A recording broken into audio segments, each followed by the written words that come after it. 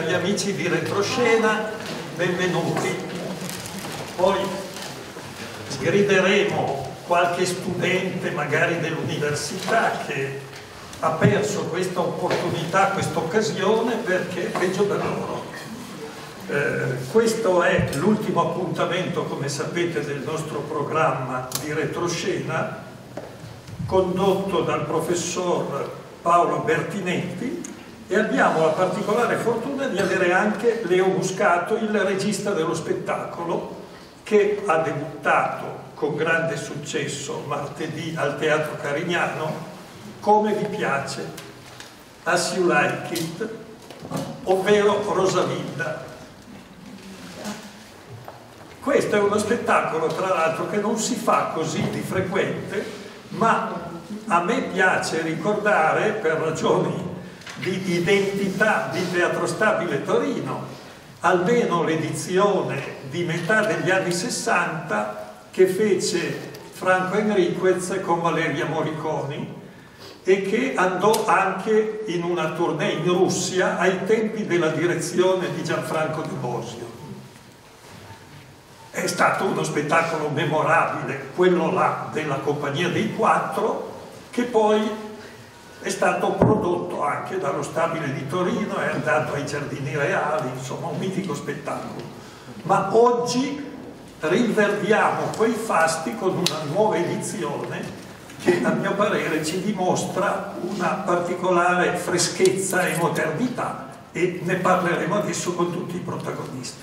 Quindi un benvenuto e un grazie a tutta la compagnia, non ci possiamo stare tutti seduti qua dietro al tavolo, per cui prima parleranno chi conduce l'incontro e il regista e eh, eh, gli attori principali e poi anche a turno gli altri attori che hanno piacere di intervenire. E quindi do la parola al professor Bertinetti che ci introduce e poi conduce questa conversazione. Eh, buonasera, eh, mi sono portato questo libro eh, scritto da uno che era forse il maggiore esperto di studi shakespeariani in Inghilterra negli anni 50, primi anni 60, infatti il libro del 62. E ehm, prima di eh, diventare un vate della critica shakespeariana, eh, di mestiere faceva l'ispettore scolastico, girava nelle scuole e nelle scuole inglesi eh, medie, medie superiori, si fa teatro e in ogni caso, come potete immaginare, almeno un testo di, di Shakespeare fa parte del programma scolastico. E quando si arrivava a As You Like It, eh, lui parlava con gli studenti e diceva, ma dunque, ai maschietti piaceva all'inizio perché c'era la lotta, alle eh, ragazze piaceva la seconda parte quando ci sono le dichiarazioni d'amore. Nell'uno negli uni e negli altri aveva l'aria di capire assolutamente di cosa parlava questa commedia. Ma il punto è che non aveva l'aria di capire neanche gli insegnanti che la proponevano. E il dubbio, aggiunge lui, eh, mi venne che anche chi lo metteva in scena non capisse bene di cosa si trattava, si barcamenasse un po'. Per cui venivano fuori delle cose noiose, delle messe in scena noiose. E poi dice, ma poco prima che questo testo andasse eh, in stampa, l'anno prima, 1961, ho visto un Like con Vanessa Redgrave che faceva eh, la parte di Rosalinda e devo dire che quello invece è uno spettacolo splendido, non solo perché era bravissima, ma perché lo spettacolo appunto eh, non era noioso. La versione italiana, una delle ragioni per cui credo che la versione italiana eh, prevede delle difficoltà ed è per questo che eh, magari non spesso viene messa in scena.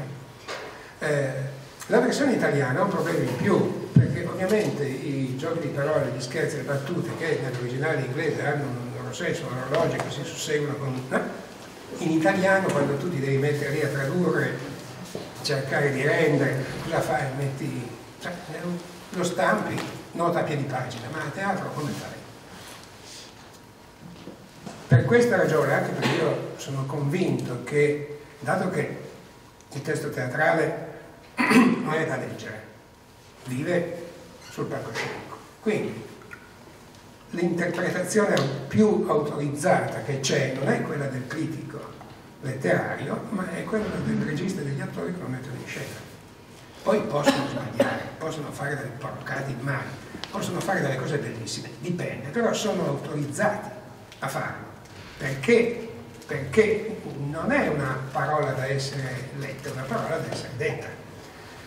Uh, io non so se eh, il regista che è anche autore della traduzione dell'adattamento del testo eh, avesse sentore del fatto che appunto uno degli ostacoli alla messa in scena di Esilai che dicono mi piace è che rischia di essere noioso ma che l'avesse sentito oppure no, che l'avesse intuito per conto suo certamente questo problema deve averlo avuto perché ha proposto un testo un adattamento che indubbiamente cerca di eliminare i momenti di stanca o se non possono essere eliminati di vivacizzarli con tutta una serie di interventi, di soluzioni, di trovate che io ho visto lo spettacolo martedì che mi sembra di poter dire poi se, di nuovo come dico sono gli spettatori che decidono che pagano il biglietto ma mi sembra di poter dire che funziona.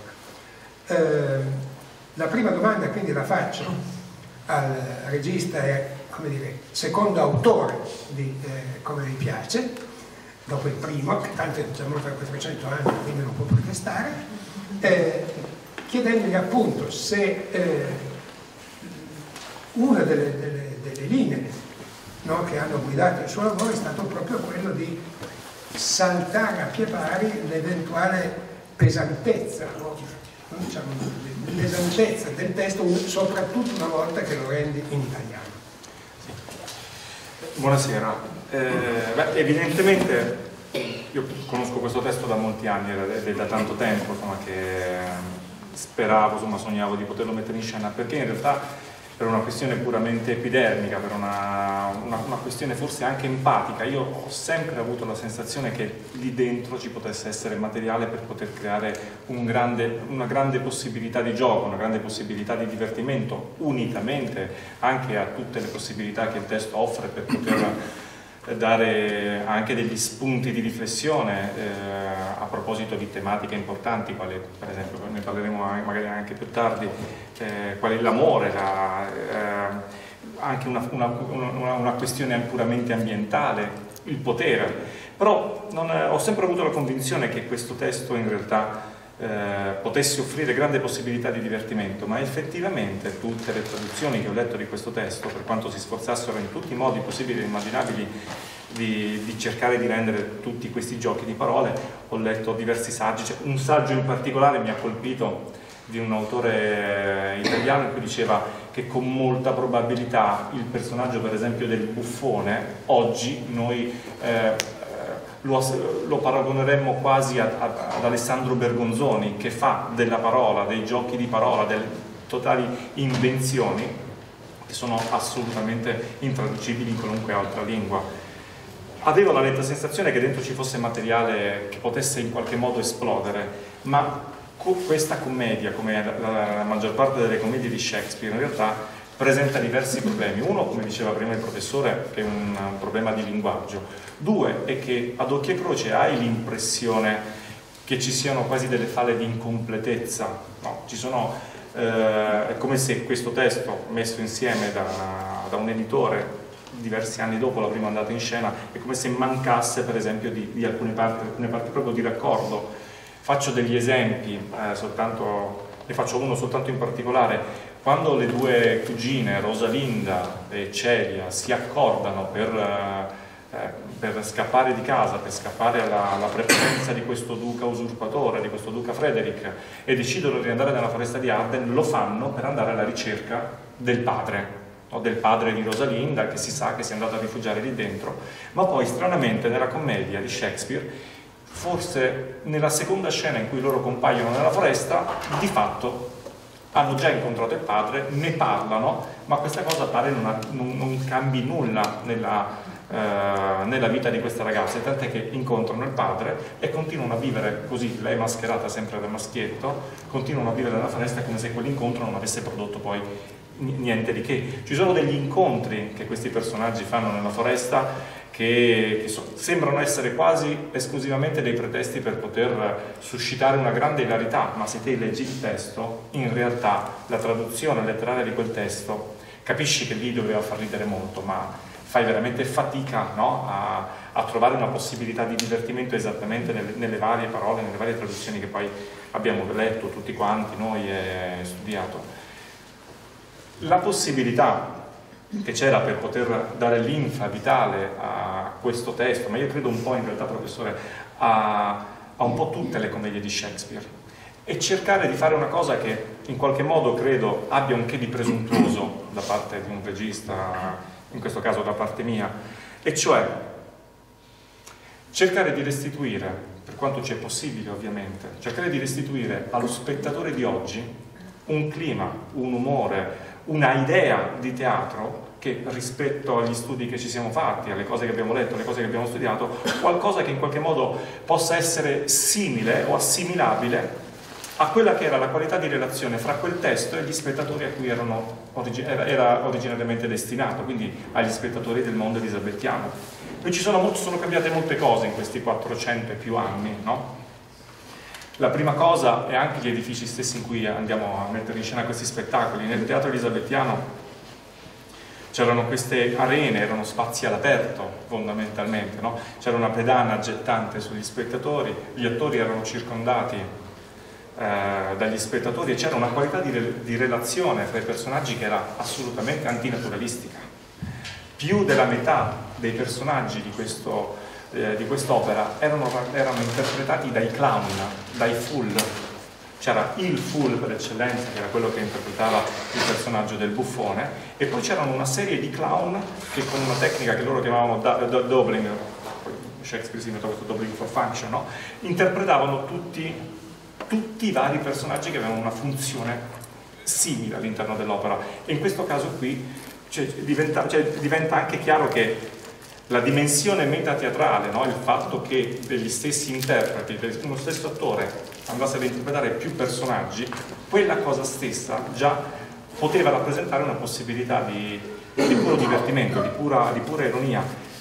Noi abbiamo cercato semplicemente attraverso questo lavoro di adattamento del testo, di cercare di, di, rendere vitale oggi, per lo spettatore di oggi, quelle parole che avranno sicuramente avuto un fondamento abbastanza importante più di 400 anni fa. E in che modo l'abbiamo fatto?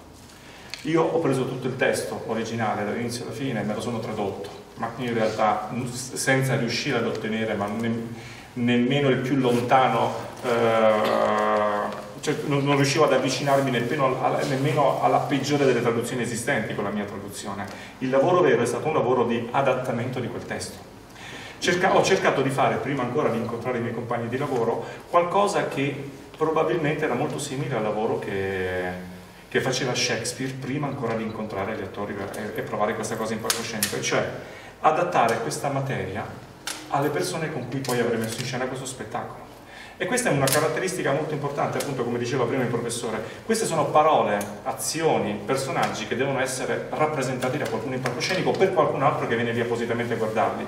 Io conoscevo i miei compagni di lavoro molto bene per, per averli, altre, per averli incontrati altre volte, per, eh, perché li conoscevo, per averli visti lavorare diverse volte e ho costruito i personaggi su una, sulle, esattamente lavorando sulle loro qualità più importanti, no? sapendo poter, che avrei potuto spingere il pedale dell'acceleratore su delle caratteristiche che ognuno di loro aveva.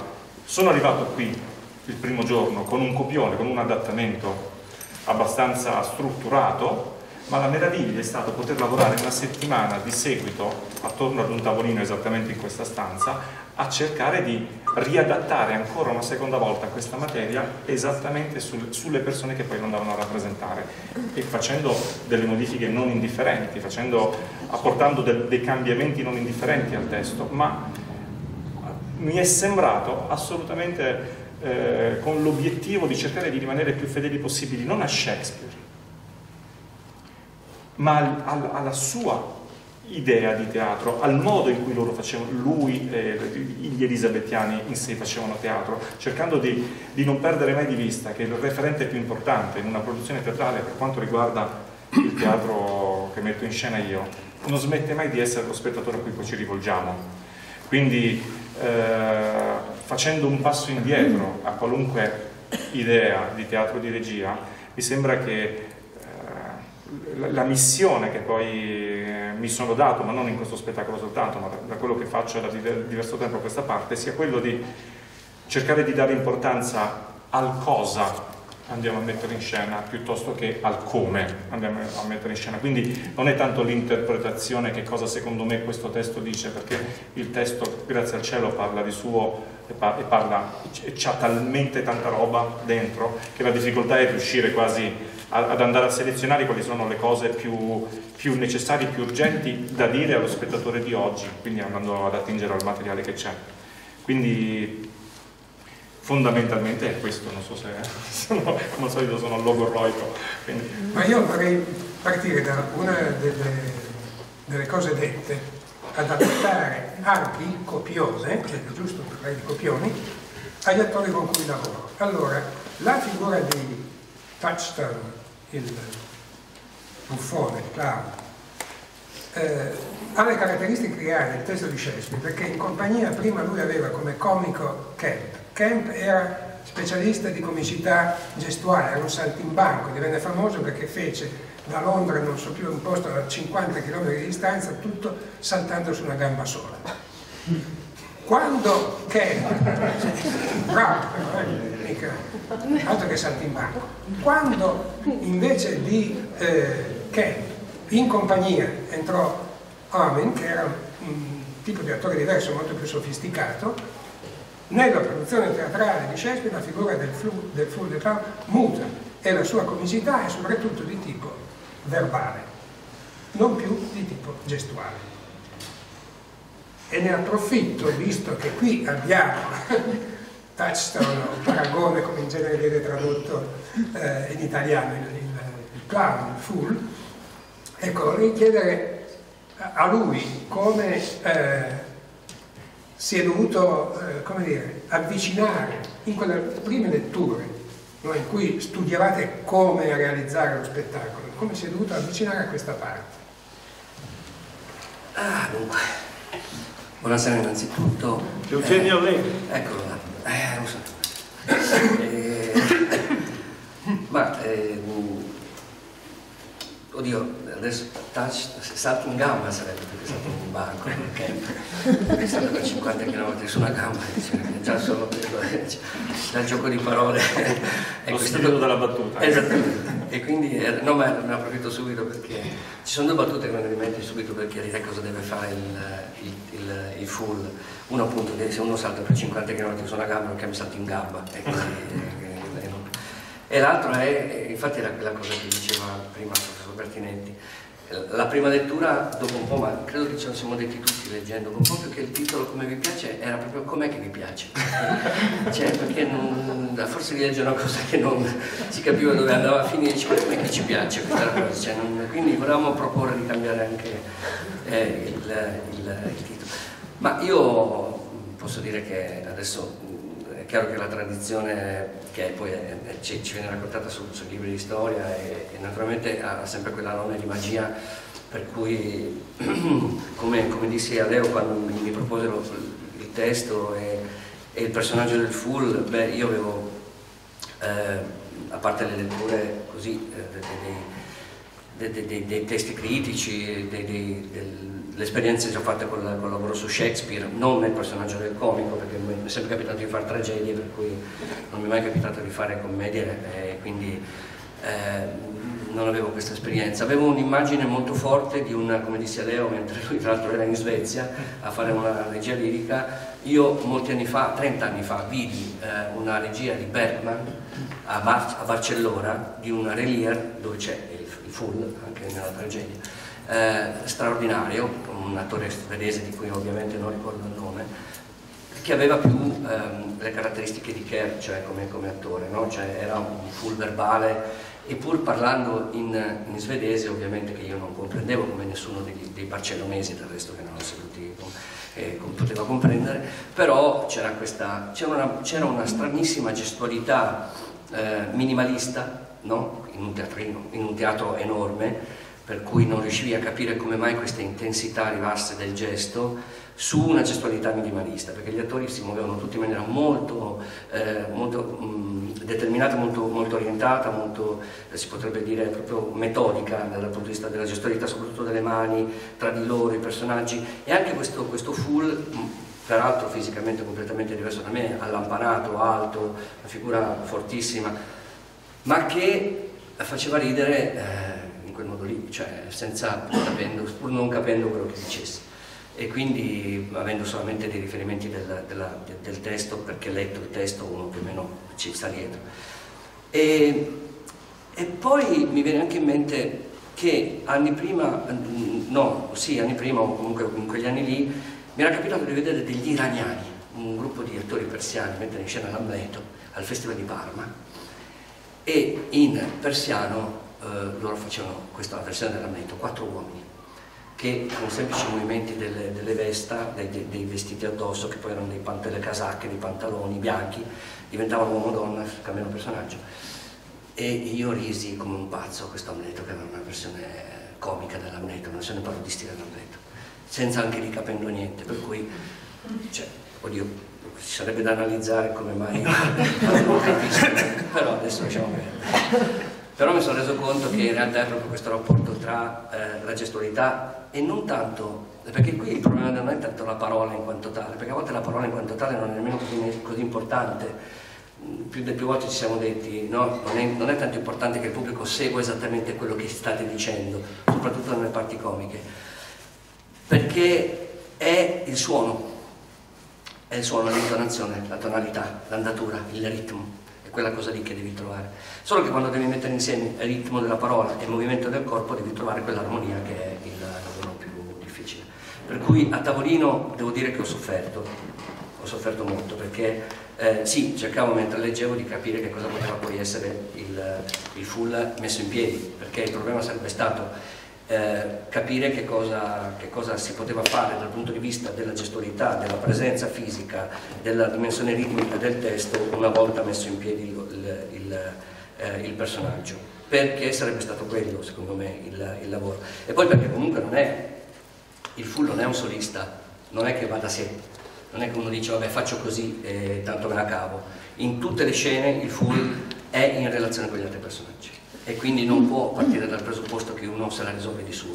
Deve andare, eh, pur essendo un personaggio a parte, pur essendo il comico, pur essendo quello che appunto ha quel ruolo lì, ma come del resto lo hanno altri personaggi, tutto questo ha sempre una ragione di esistere se tutto questo sta in armonia con il resto, altrimenti diventi un personaggio a parte che fa il numero, che fa che crea il piccolo evento ma che poi rischia di essere distaccato in una commedia appunto in cui certi snodi non sono nemmeno conclusi no? e quindi aggiungeresti sem semplicemente traiettorie in più senza aiutare a chiudere le traiettorie.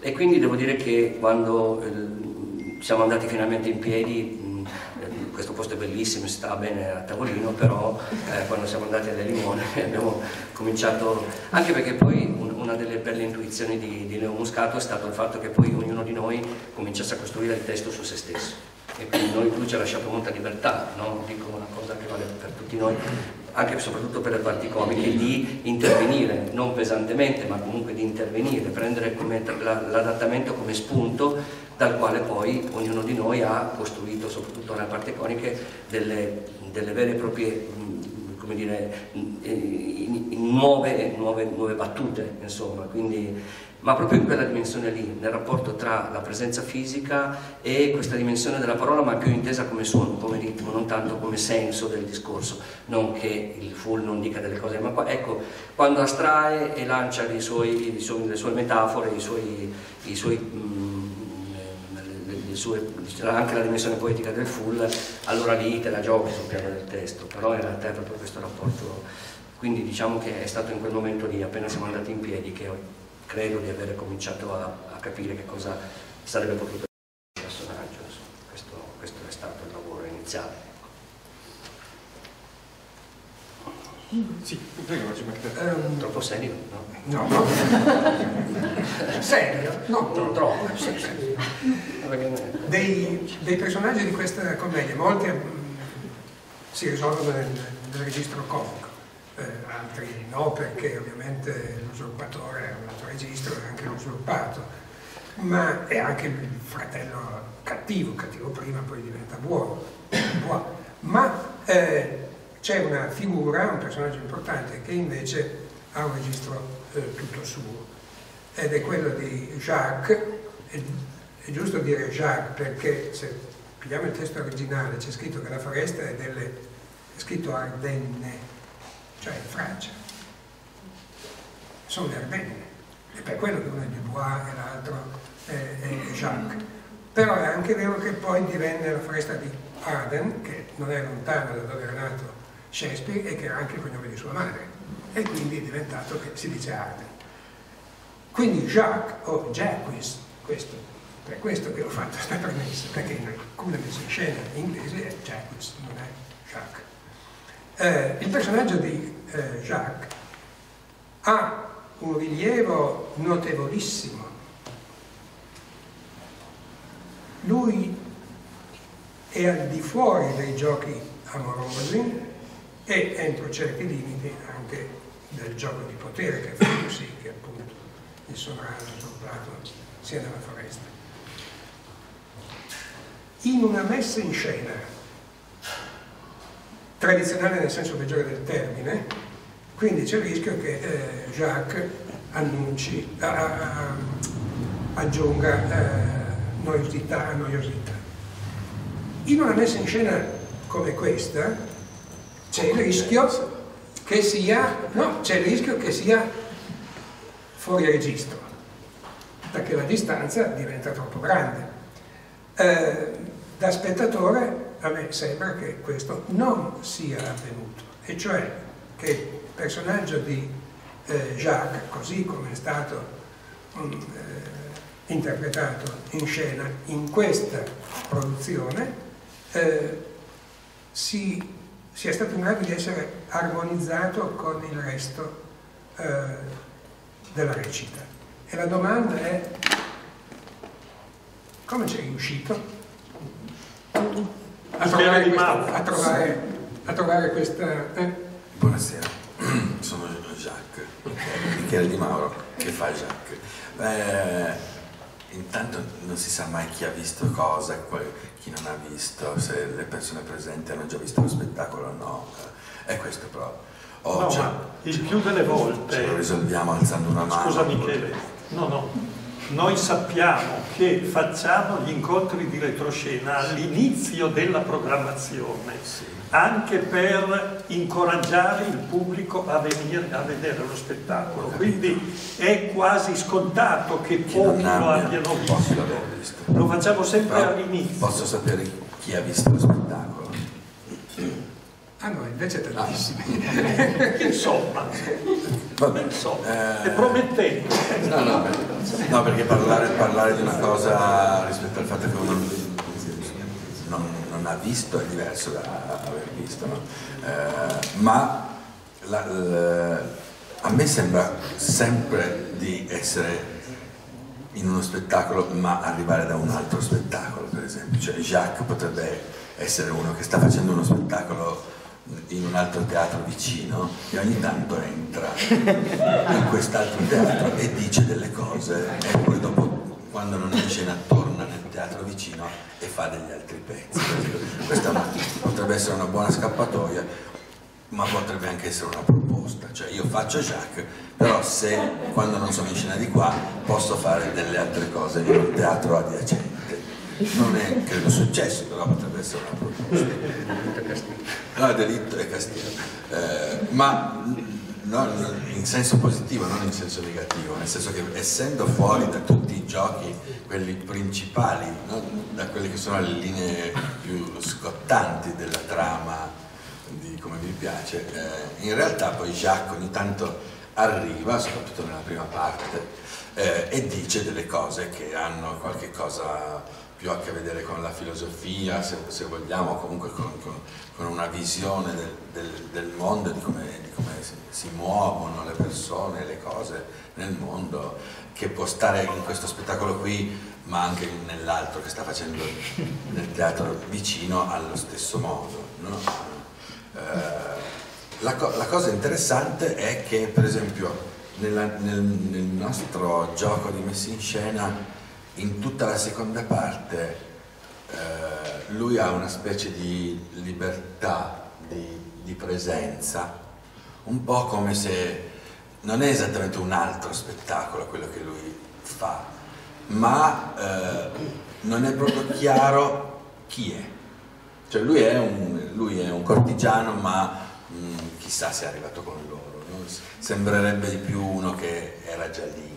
So. A me sembra che quando quando, quando, finalmente siamo nella foresta mi sembra che la gente arrivi e che io già ci sono da tempo, non, non so, ho questa sensazione qui. E quando loro ci sono, io ci sono anche, ogni tanto li posso guardare, loro non mi vedono, è come se fosse una specie di eh, spirito oppure cioè, in, in, un sogno di una notte mezz'estate sarebbe più facile inserirlo, no? In una dimensione più fantastica. Ecco, mi sembra un personaggio più fantastico, no? in, que in, questa specie di, di, verità che raccontano malamente gli altri o cercano di mettere insieme gli altri, mi sembra che Jacques eh, sia leggermente più fantasy.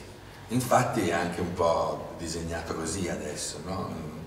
eh, com come, uno, come un, un fumetto di Tim Burton piuttosto che personaggio di, un film eh, gotico, no? eh, quindi in, non è stato difficile stare dentro, perché in realtà per quanto mi riguarda sta quasi sempre fuori. E quando sta dentro ci sta in virtù di questo attaccamento alla figura del buffone al quale lui in fondo ambirebbe, eh, ma che invece non sarà, sarà possibile, noi lo sappiamo, ma non mi, non mi sembra una trama, ecco. cioè, non, non, ha, non, ha, un obiettivo vero no? nella scrittura di Shakespeare. Noi gliel'abbiamo un po' dato, gliel'abbiamo un po' regalato, no? provando a, a, mettere un pochettino più in evidenza il rapporto con, con le possibilità buffonesche di poter soffiare sul mondo e dire tutto ciò che uno pensa, perché poi questo invece era il ruolo. Ma non mi sembra che però possa essere quello l'animo di Jacques, cioè tendere a essere un buffone.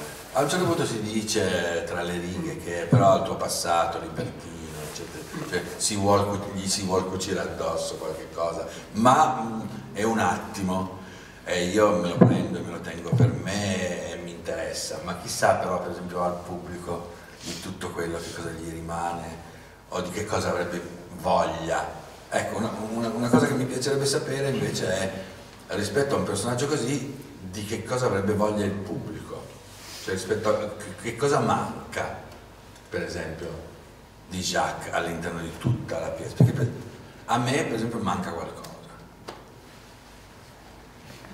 Eh, due Posso? Come no, certo. Due cose. Una, se quindi l'idea che lui magari, boh, chissà, forse era già lì, questa è la spiegazione del perché alla fine resta, quando tutti vanno via. Mm-hmm. Questa è la spiegazione. Cioè, io questa parte l'ho recitata così con la sensazione che lui magari forse fosse già lì prima, o comunque per conto suo. E questo rispetto alla conclusione finale è perfetto, perché infatti lui resta però adduce un'altra sì. ragione, no? certo. resta perché gli altri se ne vanno, se ne vanno. e tornano a fare quella vita di corte, di che, corte che, a lui non interessa, in fondo certo. più. Ecco, ma e, l'altra invece la chiedo al regista, eh sì. e cioè questa idea è un'idea che avete concordato, ma che è stata subita dall'attore o subita dal regista? No, no, per carità, abbiamo, abbiamo lavorato insieme. No, c'è una, una, faccenda nel testo, come diceva prima Michele Di Mauro, nel testo ad un certo punto ci sono, ci sono delle falle, no? è come se venissero a mancare de degli appuntamenti proprio drammaturgici che, che possono in qualche modo raccontare fino in fondo qual è la funzione di quel personaggio. Ad un certo punto, ma relativamente all'inizio, il personaggio di Jacques racconta di questo incontro meraviglioso con questo buffone, ha incontrato un buffone che gli ha fatto scoprire delle cose meravigliose che hanno a che fare con il tempo no? sulla possibilità di guadagnare tempo, sulla possibilità di usare al meglio il tempo che ci è dato ed è, è un incontro favoloso, un incontro meraviglioso no? e in realtà è un racconto perché quell'incontro il pubblico non lo vede ma io per esempio non sono sicuro che ai tempi di Shakespeare quell'incontro in qualche modo non, non, non, fosse raccontato in maniera diversa che non con il racconto. Può essere pure che, che c'era una scena che noi adesso non possediamo. Ciò che è certo è che questo incontro, questo suo desiderio, questa sua richiesta, questa sua unica richiesta al, al duca di farlo diventare un buffone, noi l'abbiamo assunta fino in fondo e abbiamo fatto di questo grande desiderio del buffone il suo obiettivo da raggiungere all'interno di tutto l'arcoscenico. Infatti tutte le volte che che appare il buffone, eh, questo personaggio di Jacques, che in realtà, come dicevamo prima, eh, cerchiamo di raccontarlo come se fosse quasi uno spirito di questa foresta di Arden, perché questa foresta di Arden, che è il luogo in cui si eh, avviene tutta la seconda parte, in realtà è una foresta che noi realizziamo con pochi sacchi di foglie per terra e un solo albero. E questo albero è mosso in scena solo ed esclusivamente da Jacques. È l'unico che entra in relazione con questo albero e lui spostandolo semplicemente nello spazio crea, racconta spazi diversi. Quindi tutte le volte che appare non solo il buffone, il buffone ma anche in relazione con eh, il suo alter ego che è un personaggio che nella commedia si chiama Audrey che è interpretato lì da Laura Pozzone cioè, tutte le volte che questi due clown, questi due comici appaiono, lui è sempre presente in scena. E in qualche modo è come se cercasse di tirare l'infa comica, l'infa vitale da questi due, finché, tant'è che ad un certo punto, sul, esattamente sul finale, finalmente presenta questo buffone al duca dice questo, guarda, questo, sono questi, queste sono le persone che hanno un senso a questo mondo, beh capite per quale ragione?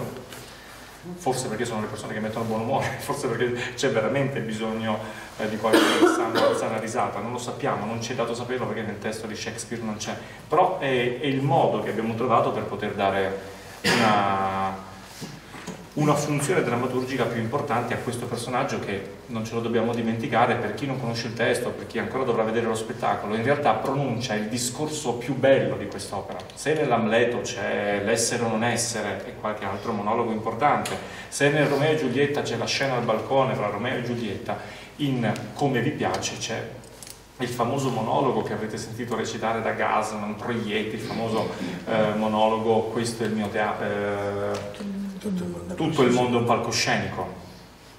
Ed è un, un, veramente un, un, grande, un grande classico. E per chi conosce il testo è un appuntamento importante, cioè, non è un caso che Shakespeare abbia, abbia dato questo monologo importante al personaggio di Jacques.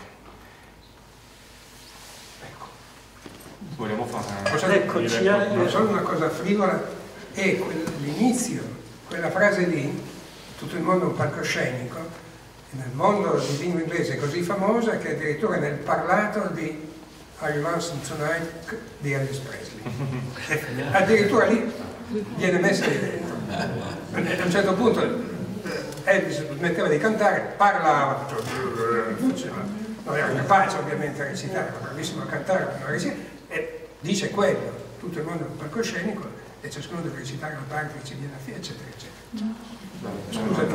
No, ci hai parlato frettolosamente di Audrey, se ci presenti anche gli altri attori che sono sì. tutti qua presenti, che ce li fai identificare. Allora, allora, qui in prima fila abbiamo Silvia Giulia Mendola che interpreta il personaggio di Celia. Ecco.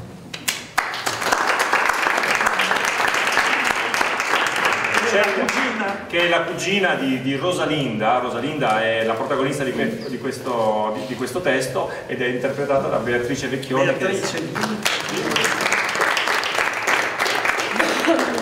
Ed è un personaggio molto curioso questo in diversi saggi troviamo scritto che in realtà è veramente l'unico, forse l'unico personaggio femminile che all'interno di un'opera di Shakespeare, sia che si parli di tragedie, di commedie di, o di drammi, che possa definirsi veramente protagonista, perché questa questa ragazza che viene cacciata via da questo duca di fatto è costretta a scappare, a rifugiarsi con la cugina Celia in questa foresta di Arden che è un luogo meraviglioso, un luogo fatto di immagine e somiglianza dell'idea che ognuno si fa probabilmente no? di benessere, di felicità, scappa lì travestita da uomo, quindi scattano tutta una serie di fraintendimenti, di, eh, tutto, un, tutto, un, gioco di equivoci molto, molto divertente eh, che noi proviamo a a cavalcare in una maniera importante. Poi c'è, qui seduto sempre in prima fila, c'è Giulio Baraldi. Giulio Baraldi, fatto un salto lo spettacolo farete fatica a riconoscerlo perché Giulio Baraldi interpreta sette personaggi all'interno di questo spettacolo. Indossa sette parrucche, una diversa dall'altra, con costumi molto diversi e ha, e a proposito di quello che dicevo prima, eh, degli attori che all'interno della compagnia di Shakespeare eh, avevano una funzione molto precisa. Lui interpreta tanti piccoli personaggi che hanno tutti esclusivamente una funzione prettamente comica. Ogni volta che arriva Giulio Baraldi, in questo caso, ogni volta che arriva quell'attore lì, eh, si ferma l'azione e si ride, perché non si può fare a meno di ridere, ma, ma, al di là della sua bravura, questo qui non conta perché non ci facciamo i complimenti fra di noi, ma è proprio per come sono, proprio per come sono scritte le scene, fondamentalmente. Poi qui sempre in prima fila abbiamo Marco Gobetti.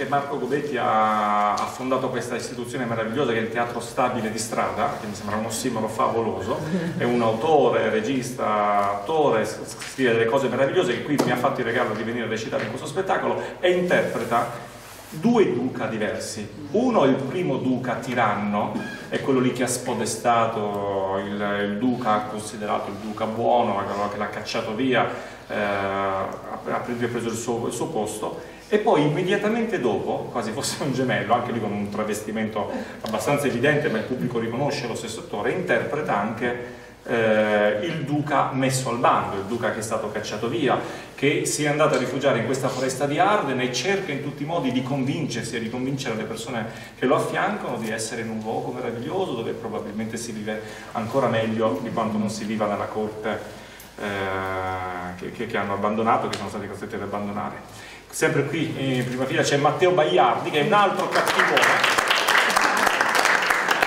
interpreta il personaggio, il fratello cattivo no?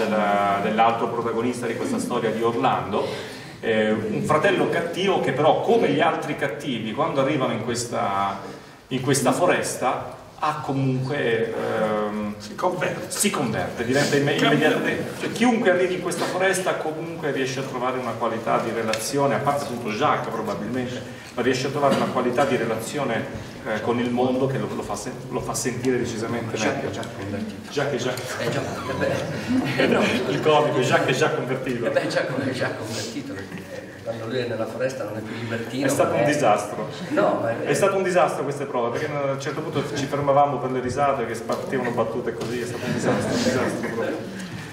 E poi una, eh, in questo spettacolo, sto andando in ordine, in questo spettacolo eh, la musica ha una funzione estremamente importante. Anche qui non è un'idea di regia, e cercare, è il tentativo di cercare di rimanere quanto più possibile fedeli all'opera stessa di Shakespeare, che probabilmente è una delle opere che, che contiene più canzoni, che contiene più musica, proprio per, per, ciò che è indicato nel testo. E noi abbiamo in scena Dario Buccino, che è...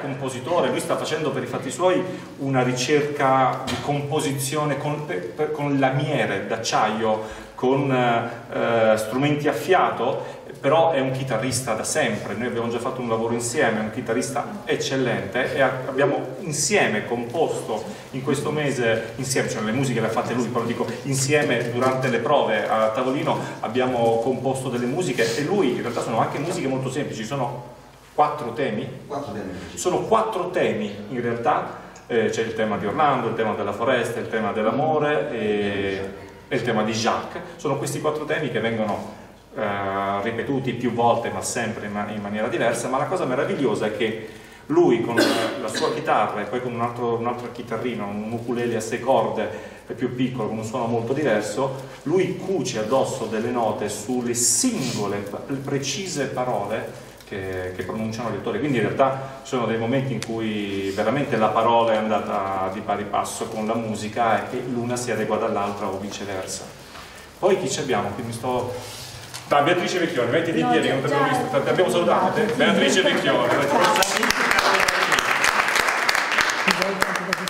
E poi, allora, ecco, lì Laura Pozzone, fatti vedere.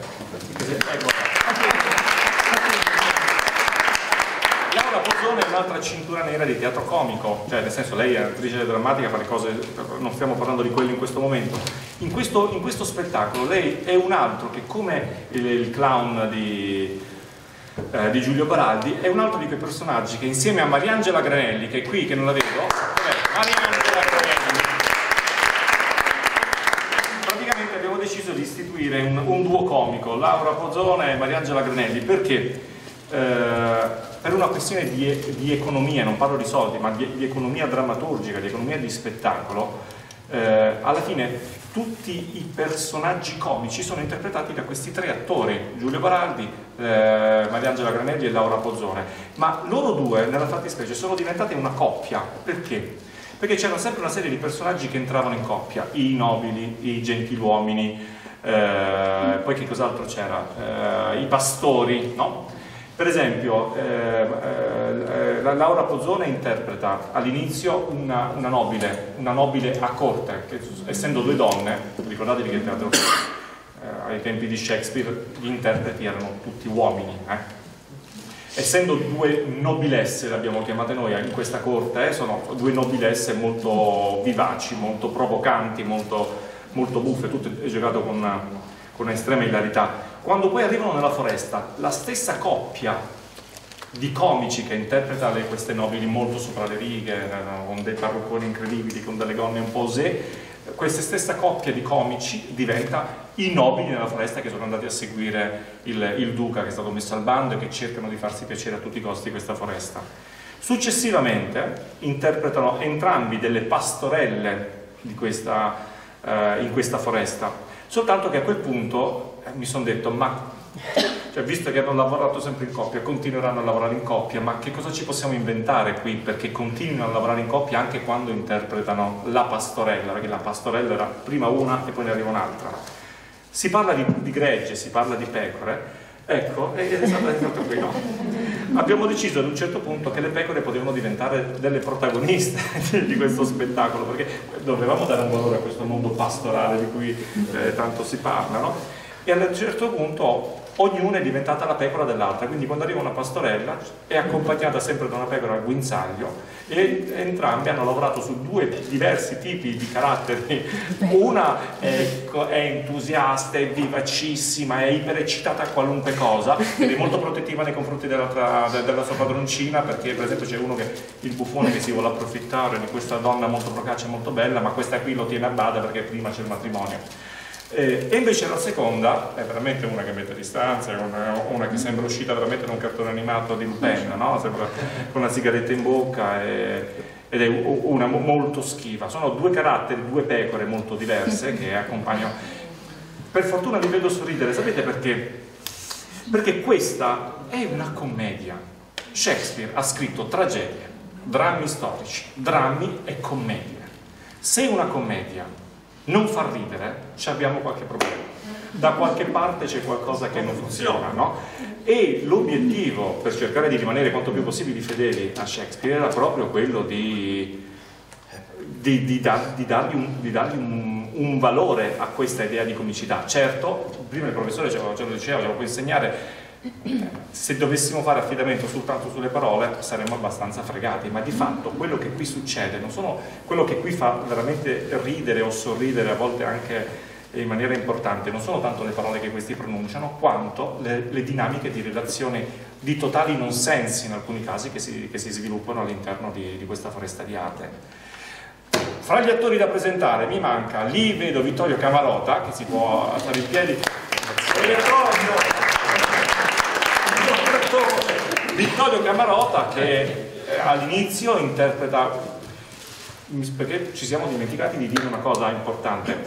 Questa, stiamo parlando di, di commedia che deve far ridere, di fatto è così ma inizia come una tragedia cioè, le, il primo atto di questo, di questo, testo è veramente molto duro perché si parla di fratelli che si scannano fra di loro, si parla di un vecchio duca che è messo al bando, che ha cacciato via malamente il suo fratello più anziano, quindi lo, lo ha relegato nella foresta, cioè parte come una tragedia, non parte subito a way di, di felicità, ci si arriva lentamente. E in questa prima parte però uno di questi protagonisti, uno di questi personaggi eh, abbastanza importanti è questo lottatore che viene chiamato da, no, che si presenta, cioè è il lottatore personale del duca perché i nuovi divertimenti in questa nuova corte consistono nel far spezzare le ossa alla gente, no? quindi sembra di essere arrivato in, una, in un'arena romana no? dove i gladiatori si eh, combattono contro le bestie, contro gli animali e questo, questo, nostro lottatore, appunto Vittorio Camarota, in realtà cerchiamo di raccontarlo conservando una serietà perché la deve avere, però non dimenticandoci mai del fatto che siamo all'interno di una commedia, quindi una possibilità ironica la dobbiamo conservare in qualche modo. E poi invece interpreta anche un altro, nella seconda parte dello spettacolo, interpreta un pastorello, un pastorello perdutamente innamorato di una, di una ragazza che nemmeno lo vede, anzi quando lo vede non, non perde occasione per uh, lanciargli tutti gli improperi possibili ed immaginabili. E poi ci manca Orlando, ed eccolo là, Orlando. Tutti nascosti, timidoni, gli attori sono timidi. Sono timidi. Daniele Marmi che interpreta il personaggio di Orlando, che è questo giovane fratello appunto cacciato, trattato male, trattato malissimo no? dal, dal fratello cattivone che interpreta Matteo Baiardi, eh, molto intelligente, amato da tutti, sempre nel cuore delle cose, diciamo, nel testo, ma in realtà è uno che, che ha vissuto nella povertà, nel, anche nell'umiliazione, ad un certo punto anche lui è costretto ad andare via, anche lui approda in questa foresta di Arden e quando approda in questa foresta di Arden, come tutti quanti gli altri personaggi, incontra della gente in questa foresta di Arden e come, come si intrattiene in conversazioni anche abbastanza piacevoli, senza perdere di vista l'obiettivo principale, che è quello di estirpare dal proprio cuore la donna di cui si è perdutamente innamorata, che è questa Rosalinda, non sapendo che in realtà in questa foresta c'è anche Rosalinda. E Rosalinda ad un certo punto lo incontra, ma essendo travestita da uomo e vergognandosi eh, mortalmente di, quel, di, quella sua mise, nasconde il fatto di essere Rosalinda, lui non la, non la riconosce e inizia fra i due un, un, gioco tragicissimo, da morire dalle risate, ma è tragicissimo perché Rosalinda gli impone una cosa, se vuoi dimenticare il tuo amore devi venire qui da me tutti i giorni e, e io ti insegnerò a come, a come poter estirpare dal tuo cuore questo amore per una donna che tanto non potrai mai avere. E questo gioco, per fortuna, essendo una commedia, finisce in un lieto fine. Scusate, sono logorroico, lo so. Beh, ma hai presentato tutta la compagnia come ti sembravate. A proposito degli attori che fanno più parti, eh, tenete conto che anche verso la fine della carriera di, di Shakespeare, quando diventano Kingsman, quindi il re, il protettore della, della compagnia, al massimo erano 12, mm-hmm. prima erano 7. Ora, pensate ai drammi storici, quante parti ci sono. Naturalmente le entrate e le uscite erano studiate in modo tale che un attore potesse fare eh, più parti.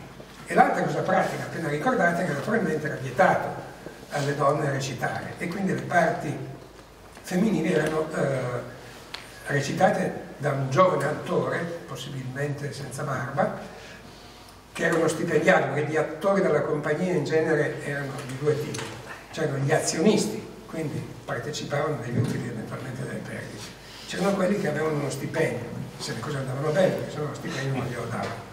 E il giovane attore ovviamente era tra gli stipendiati, non faceva parte del... Bene, il giovane attore quindi compariva in scena in molte delle commedie di Shakespeare, compare l'eccezione Giulietta, compare in, in scena in abiti femminili, ma poi le circostanze della vicenda fanno sì che debba travestirsi da uomo e quindi recita da uomo. E naturalmente quando poi nel corso della commedia, questa come altre, tutti gli altri personaggi lo lo riconoscono come uomo, eh, eh, si capisce, perché lo era, dico rispetto al palcoscenico elisabettiano, eh, lo, lo era. Eh, a noi potrebbe sembrare, no, magari, ma come fai a non accorgerti che? E eh no, ma nell'originale il problema non c'era, era un attore che faceva una parte femminile, ma essendo vestito da uomo è chiaro che sembrava un uomo, lo era. Ora, qui però, come eh, giustamente diciamo, Remuscato prima, abbiamo un personaggio femminile, quindi un attore giovane che recita una parte femminile, una parte femminile che è da l'unica. Ci sono delle grandi parti femminili in molte delle tragedie e nelle commedie di Shakespeare, ma questo è l'unico caso in cui il personaggio femminile è il, la protagonista. E questo ha fatto sì anche che tutte le grandi attrici, a partire da, da quando lo sappiamo, da, quando abbiamo una documentazione affidabile da, da fine Settecento in poi, tutte le grandi attrici, tranne una, tranne Renterri, tutte le grandi attrici inglesi hanno sempre fatto prima o poi la parte di Rosalind. E con il fatto che sta in scena vestita da uomo per la maggior parte del tempo, anche quando arrivavano già intorno ai 40-45, continuavano a fare Rosalinda, tanto essendo vestite da uomo non si notava tanto che non erano delle fanciulle, insomma. No? Ora, in, eh, se io ho capito bene, in questa produzione la scommessa è duplice. Affidare a un'attrice giovane il ruolo della protagonista e scegliere come attrice giovane un'attrice giovanissima che quindi ha dovuto fare una Beh, tutti voi avete dovuto fare una, una, una, scommessa, una scommessa rischiosissima, però poi ogni tanto, come quello che ha puntato una sterlina sull'est, le scommesse eh, funzionano. Questa è una scommessa che ha funzionato. Eh, se volesse l'attrice che, che, fa eh, Rosalinda, se volesse venire qui perché vorrei chiederle... Beatrice.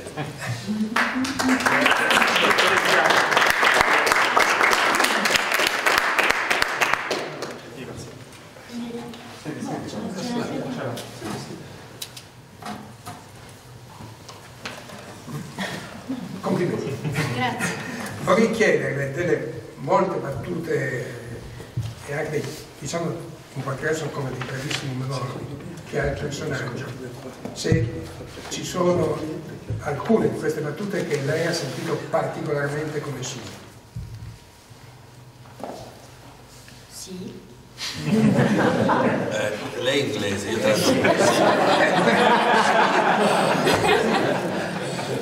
tante. Tante. E adesso che, che, che, che, mi salta in mente la frase che mi piace tantissimo, una scena quando io ascolto il pastorello e Febe parlare e, e, il, e il, fatto di accorgersi che, che l'amore accade ovunque all'improvviso e che sia un luogo come la foresta a, a, a nutrire questo, questa forza, per cui la foresta forse è un luogo dell'anima più che un luogo fisico. E, va, e, e a, al pastorello io dico, dico non è il suo specchio ma sei tu ad adularla ed è in te che lei vede se stessa più bella di qualsiasi sua fattezza possa mostrarla. E questa frase mi, mi risuona molto. La sente più sua? Eh, adesso mi viene in mente quella, però poi in realtà mm, tutto. Ma perché ce n'è una in particolare, forse la più citata nelle, eh, di questa parte, perché tenete conto che c'è oltretutto la, eh, come dire, satira forse è, troppo, ma certo un atteggiamento ironico da parte di Shakespeare nei confronti del dramma pastorale, della poesia pastorale, delle varie Arcadie che eh, tanto piacevano eh, in quel momento. Quindi tutti questi amori pastorali eh, sono rappresentati e sempre un po' presi in giro. A un certo punto, a un certo punto proprio dove invece a mio avviso è più esplicita l'intento satirico di, di Shakespeare è quando Rosalinda dice ma come morire d'amore? Ma d'amore non è morto mai nessuno. Eh, capite, rispetto a tutta la poesia no, pastorale, eh, lì era proprio la, la, negazione del principio fondante, no, che le pene d'amore, perdute, come dice il titolo di una delle, delle prime. Per uno che aveva fatto morire Romeo e Giulietta così. non era morto mai nessuno, ma ha scritto Romeo e Giulietta. Questo ironico. Ma lì è stato un puro fatto di sfiga la classe 5 minuti prima. Sì, ma è vero, è vero. Sì, sì, si sono sbagliati. Eh, ma era un piemontese.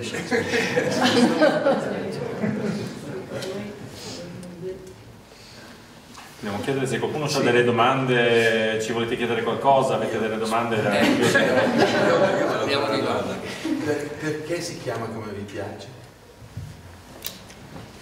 Dunque, intanto questo... Perché il titolo è come, come vi piace? Intanto c'è una discussione su questo. Discussione. Tant'è vero che a un certo punto nel Settecento il titolo l'hanno cambiato, perché dicevano che cavolo c'entra questo titolo qua. E lo chiamavano Amore nella foresta. Il titolo di eh, eh, è diventato Love in the Forest, perché dicevano che sta a significare? In realtà è perché questa storia è come piace questa è la possibile Però, interpretazione. Ma il, portandocela più vicino a noi, non abbiamo forse delle sollecitazioni. Anche rispetto a quello che diceva Beatrice. Beatrice dice, che cos'è la foresta?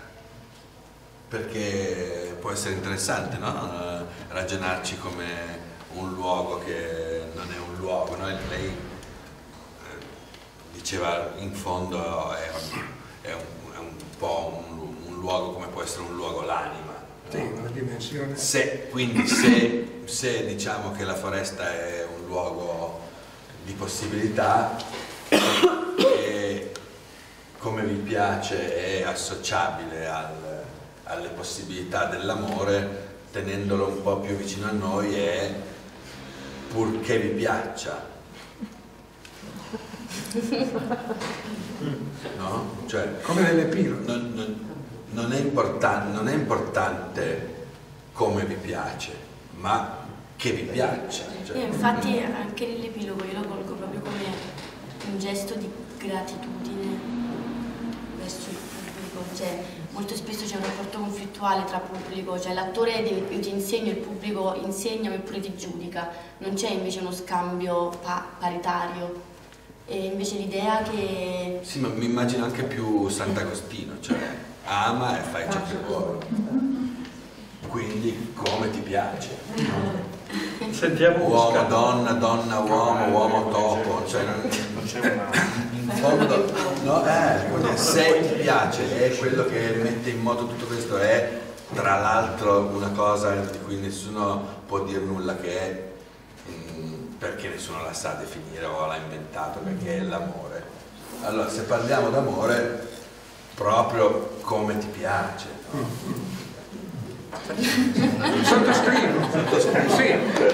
Ma c'è un'altra, in realtà è, questa commedia è la seconda che Shakespeare scrive con lo stesso titolo, perché la dodicesima notte è uguale, è o quel che volete. O quel che volete. La dodicesima notte o quel che volete. Per noi come pare a voi. Sì, come pare a voi, eh, perché la dodicesima notte in realtà per loro è la dodicesima notte dopo il Natale, giusto? Quindi è l'Epifania, quindi parliamo del dell'Epifania del giorno della Befana fondamentalmente, che era, un era, una specie di carnevale, giusto professore? Era una specie di carnevale per loro, quindi eh, appunto la dodicesima notte, l'Epifania carnevale o, o, come vi pare, come vi piace, oppure o quello che volete. In realtà credo che eh, proprio nella funzione precisa del drammaturgo, in questo, in questo caso qui di Shakespeare, credo che non sono sicuro che fino in fondo eh, avesse un'importanza così decisiva anche la scelta stesso del titolo, perché c'è una, una, battuta che mi fa impazzire nel film di Tom Stoppard. Rosencrantz Shakespeare in Love, no? il cui protagonista è proprio questo giovane Shakespeare no? che, che, deve scrivere questo, questo testo e viene chiamato lo scriviparole.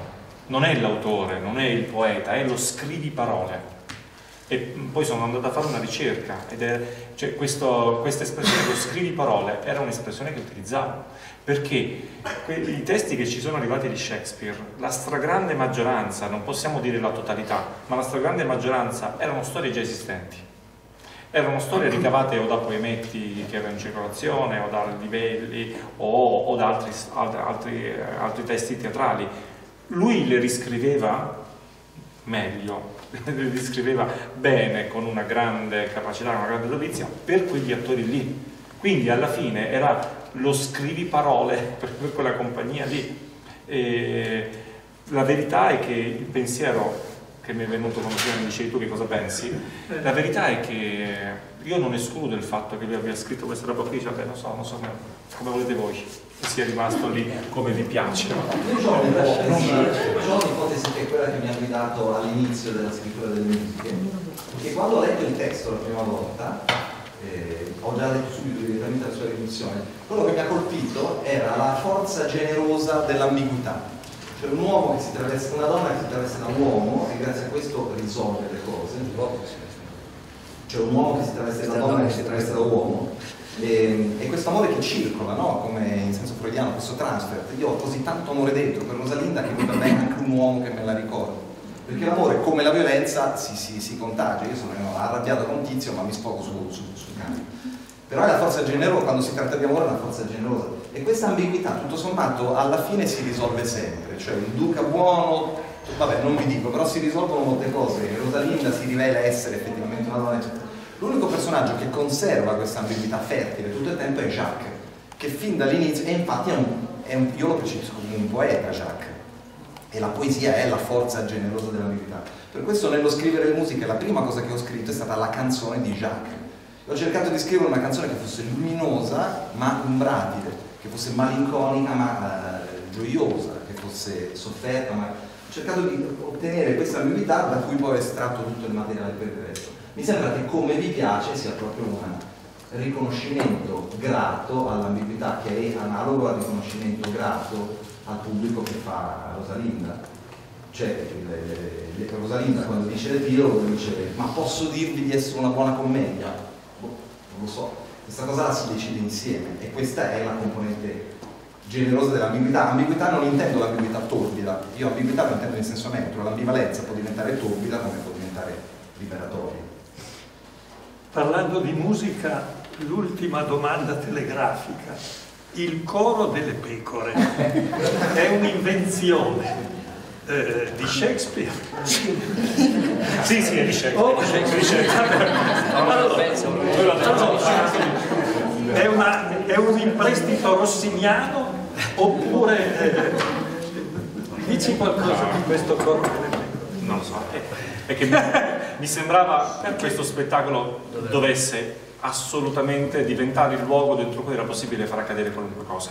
Cioè questo era l'unico basso continuo eh, che poi ci siamo tenuti dentro per tutto il tempo. E prima di cominciare queste prove mi era capitato di sentire così casualmente appunto il duetto, il duetto per gatti no, di, di, Rossini. Miau, miau, miau, miau, miau, miau, miau, miau, qua e ho chiamato subito Dario che mi ha preso per un pazzo scatenato ho detto Dario senti ma se Rossini ha fatto un duetto per gatti noi la possiamo fare una sinfonia per pecore no.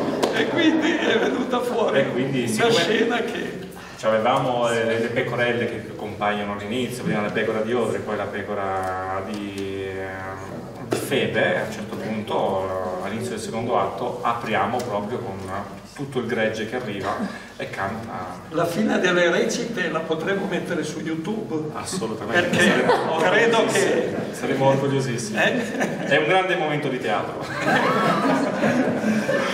Bene.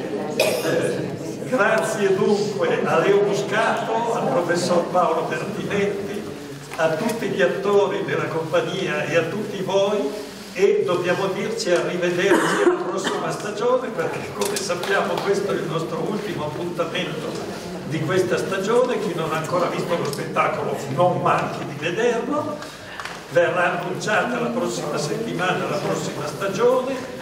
Con i professori dell'università siamo già al lavoro per organizzare prossimo, la prossima edizione di Retroscena, un altro programma che faremo ancora più ricco e interessante e quindi grazie della vostra presenza, arrivederci alla prossima